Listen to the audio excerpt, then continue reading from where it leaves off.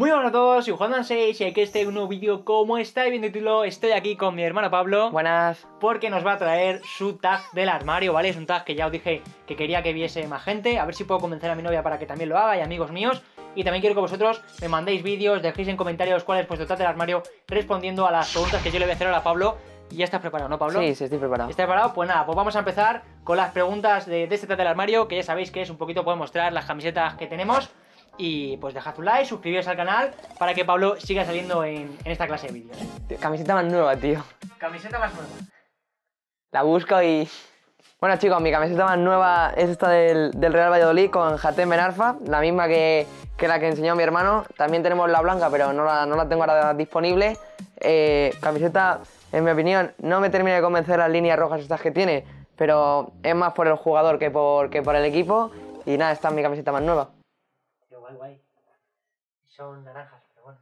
Son rojas, tío. Son naranjas. Ah, pues yo te juro, es que pensado en esto rojo. Camiseta más antigua. Bueno, la camiseta más antigua, la- bueno, obviamente la primera que me pillé fue esta de Ibrahimovic eh, en, el, en el PSG. Eh, una camiseta, la verdad es que bastante, bastante bonita. eh, y creo que aquí cuando Ibra, bueno, claro, cuando Ibra se la sacaba también en el, en el PSG. Y me parece que conjunta muy bien este, este rojo con el, sea, el escudo que es rojo, eh, azul y blanco con, con la camiseta. Y me parece que está, que está muy bonita. Camiseta que más me gusta. Cambio de percha aquí, chavales. Que. eh, No, la camiseta que más me gusta es la del Getafe, pero no, la, no está. la camiseta que más me gusta, como estáis viendo, bastante rara. Yo creo que ninguno, ninguno la llevará, igual ni la conoce. Es la de Toronto, del equipo de la MLS, y todo es por el, por el jugador que, que estaba en ese equipo, que es eh, Sebastián Jovinko. Jugador muy importante para que se llevase la Liga de Toronto, y es una camiseta, la verdad es que bastante, bastante bonita. Camiseta que menos me gusta. Eh, la camiseta que menos me gusta es la segunda equipación del Atlético de Madrid que tuvo hace unos años, eh, que es esta azul, que es que no me gusta nada cómo combina los colores. eh, y no tengo nada más que decir, aparte que el jugador que hay que se llama Antoine Griezmann, eh, os lo voy a enseñar aquí. Las, las letras están yendo, eh, también es verdad que acabo muy mal con el Atlético de Madrid y también influye en que esta camiseta no me gusta. Camiseta que más he usado. La camiseta que más he usado y como veis ya veis que el equipo que me gusta mucho es el Liverpool por las dos camisetas que llevo. Es esta de Mohamed Salah. Eh, una camiseta la verdad es que bastante bonita, me gusta mucho este, este gris eh, y lo he utilizado bastante sobre todo para jugar partidos y jugar con el equipo que, que yo, que yo juego. Y además creo que ganó la Champions con esto. No lo sé, no me acuerdo, por eso no lo he dicho. No, no. ¿Y qué? ¿Qué quieres del año? Sí, eh, ganó la Champions con esta camiseta porque fue cuando marcó Mané el gol en el Allianz Arena. Pero no con esa, ¿no? Con el Tottenham no llevaban esa. Llevaban la roja. No, pero digo que ganó, que ganó Esa con temporada. esa temporada. El año pasado. Efectivamente. Camiseta más cara que tengo. La camiseta más cara que tengo es esta del Atlético de Madrid y es una de las únicas verdaderas que tengo. Eh, lleva mi nombre, aunque sí que es verdad que se fueron, que se fueron las letras. Camiseta muy bonita y con la que, con la que lloré eh, en la final de Champions contra el Real Madrid cuando Juan Fran dio al palo. Eh, camiseta mm, que no utilizo mucho y que debería de utilizar más, pero esta es la camiseta más cara que tengo. Camiseta más barata. La camiseta más barata que tengo, y yo creo que la que menos me pongo, es esta de- del Mónaco. Eh, me la compré por este jugador que vais a ver ahora cuando dé la vuelta. Me la compré por este jugador, por Stevan Jovetic, que jugó en el Inter, también jugó en el City. Y la verdad es que me gustó mucho cuando le vi. Es una camiseta que me costó bastante barata, pero no está mal, no está mal hecha y la verdad es que por el precio que valió está bastante bien. ¿Cuánto te, cuánto te costó? 9.50.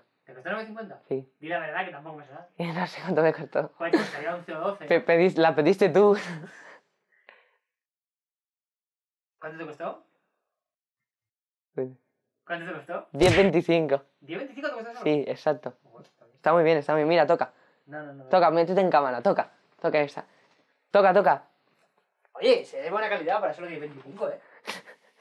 Camiseta que me han regalado. Eh, camiseta que me han regalado, bueno, que me ha regalado mi hermano Juan.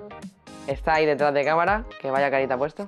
Es esta de Paulo Dybala, eh, la Juventus. Eh, camiseta que tampoco es que me la ponga mucho, ya ahora menos en cuarentena. Muy, muy bonita. No me termina de convencer por el nuevo escudo de la Juve, que a mí no me, no me, no me apasiona. Y la verdad es que me la regaló en un momento muy bonito, que es cuando estaba viendo en la final de, de Toronto, que es la camiseta que os enseñé antes, y que ganó. Jugador favorito de las camisetas que tengo. Esta camiseta va dedicada para mis padres, para Juan y para Mónica. Eh, primera camiseta, no, no es la primera, pero una de las pocas camisetas que ha entrado del Barça en casa. Y me la compré por, por este jugador tan, tan especial que es eh, Philippe Coutinho. Ya que no tenía ninguna del Liverpool, pues cuando vino aquí a España, por supuesto por el Barça, me la compré. No es que es una camiseta que me guste, pero Coutinho eh, me gusta muchísimo y le puedo disfrutar en el Coliseum. Y viene la camiseta más bonita del mundo, chicos. La mejor, ¿eh? La mejor, la mejor. Redobles. Camiseta más falsa. Y más barata también. Camiseta más falsa. Es que es horrible si lo estoy viendo. El Homa está mal. El escudo creo que también está mal. e- e- El, el nombre, bueno, es espantoso. Esta camiseta me la quise comprar por, por Santi Cazorla, que estaba haciendo un temporadón, y me llegó esto que, que bueno, tenéis la review en el canal de, de Juan para, para poder verla más en profundidad. Y bueno, esta es la camiseta más falsa que tengo y con bastante diferencia. Y ese ha sido mi tag de camisetas. No va a ser eso. Camiseta de la que se te hayan ido las letras. Camiseta del que más se me han ido las letras. No es que se me hayan ido muchas. eh, la verdad es que esta camiseta me la he puesto bastante. Y como dijo Juan en su tag, eh, hay que tener suerte con las camisetas que te compras y cómo te llegan para que no te vayan las letras. A mí, por suerte, solo se me ha ido esta T y tampoco eh, mucho más. Sí que es verdad que se está despegando la E. Eh, esta camiseta es súper, súper bonita. Llevo con ella cuatro, cuatro años, si no me equivoco. Eh, dura mucho. Y esta es la camiseta que más se me han ido las letras. Como veis, he tenido suerte de que no se me han ido muchas. Eh, bueno, chicos. Joder, qué difícil es pedir el vídeo. Bueno chicos, ya hasta aquí mi vídeo de Tag del Armario, espero que os haya gustado. Eh, si queréis que esté más por el canal de, Juan Dan 6 o que me abra yo uno, aunque eso lo veo difícil, eh, darle a like y suscribiros y dejar en comentarios o mandarle un vídeo para que lo, lo ponga directo o, en algún, o reaccionen en un vídeo eh, vuestro Tag del Armario. Un saludo. Adiós.